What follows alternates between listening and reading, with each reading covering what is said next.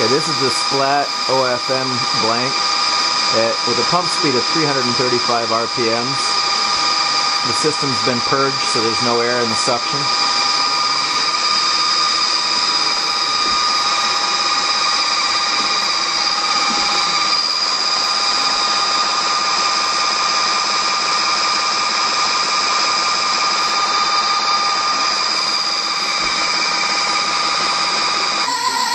Okay, this is the Splat OFM blank material.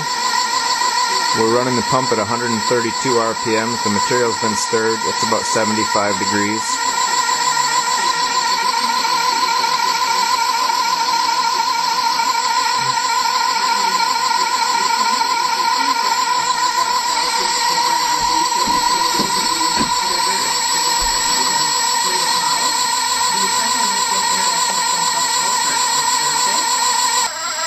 Okay, once once again the Splat OFM. We're at 90 revolutions a minute now.